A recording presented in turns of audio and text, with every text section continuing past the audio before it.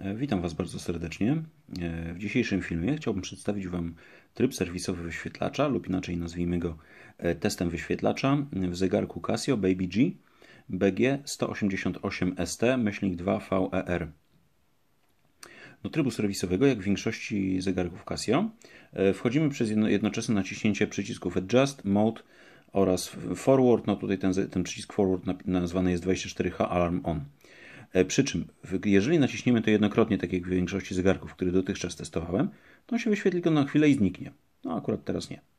Natomiast e, parę razy już mi się udało tego e, właśnie nie udać tego wyświetlić i musiałem to przytrzymać. Teraz akurat wyjątkowo udało się to zrobić jednokrotnie. Nie wiem od czego to zależy, trudno stwierdzić. Weszliśmy sobie właśnie do tego trybu. Jak widzimy pierwszy ekran trybu serwisowego wyświetla nam wszystkie możliwe segmenty. E, i e, spróbujemy sobie omówić, co tutaj mamy. Mamy dwie linie e, sześciu pełnych ósemek. Dolną linię, gdzie jest wyświetlany bieżący czas, środkową linię, gdzie jest wyświetlana w trybie timekeepingu bieżąca data. Po lewej stronie mamy literki P i A, oznaczają, to są oznaczenia AM i PM, czyli przed południem i po południu, w trybie wyświetlenia godziny, w trybie 12-godzinnym. Tutaj w tym małym kółeczku mamy taką strzałeczkę Days, która pokazuje nam zbliżający się termin termin jakiejś rocznicy, którą stawiliśmy sobie w liczniku dni. Licznik dni został e, omówiony w e, osobnym filmie, gdzie omawiamy wszystkie funkcje tego zegarka. Zapraszam do obejrzenia. W górnej sekcji wyświetlaczy mamy taki, taki nierówny wyświetlacz dot matrix, gdzie w środkowej części jest, jest o, dwa, o dwa więcej pikseli. Dzięki temu lepiej wyświetlane są różne grafiki. Tutaj normalnie wyświetlany jest nazwa dnia, nazwa, aktu nazwa aktualnego dnia. E, w trybie timekeepingu mm, nazwy funkcji po przechodzeniu przez funkcję przed przyciskiem Mode oraz po prawej stronie mamy trzy wskaźniki. Jest to wskaźnik alarmu, sygnału równej godziny oraz Daylight Saving Time, czyli czasu letniego. Oczywiście, jeżeli, jeżeli dany wskaźnik jest y, tak jak teraz za, y, za, zapalony na czarno, oznacza, że dana funkcja jest włączona.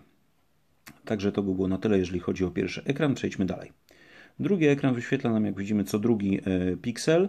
Tutaj mamy taki ciekawy wzór na tym wyświetlaczu dot matrix, który jest w górnej części.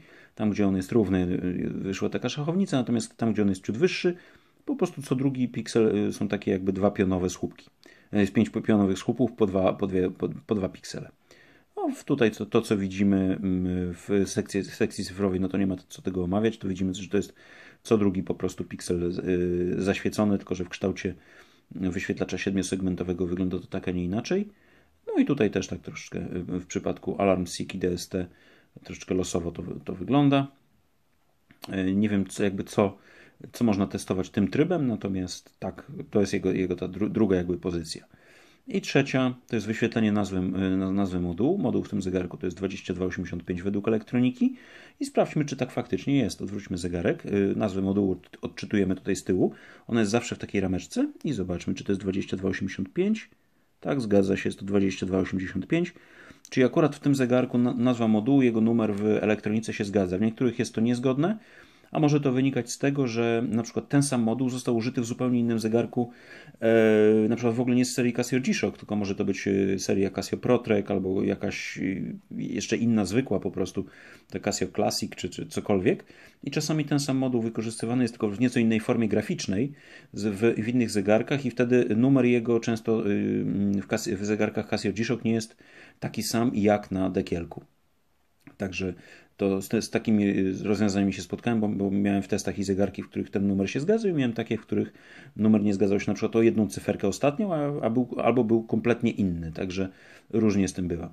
I kolejne naciśnięcie przy, przycisku tego dolnego prawego, bo tylko, tylko nim tutaj operujemy, a już jest przejście do trybu timekeepingu, czyli tak jak wspomniałem, i tutaj jeszcze raz naciśniemy, żebyśmy mieli wyświetlenie w trybie 24-godzinnym. Jeżeli podobał Wam się filmik, e, zapraszam do subskrybowania mojego kanału. Na końcu będziecie mieli link z moim zdjęciem, żeby sobie w to kliknąć. E, zapraszam również do zostawienia łapki w górę, jeżeli, mm, jeżeli ten konkretny film Wam się, wam się spodobał, e, jak również do mm, komentowania, jeżeli macie jakieś pytania, chcielibyście zostawić jakieś sugestie dla mnie, jeśli chodzi o kolejne filmy. A tymczasem bardzo Wam serdecznie dziękuję za uwagę i do usłyszenia w kolejnych filmach.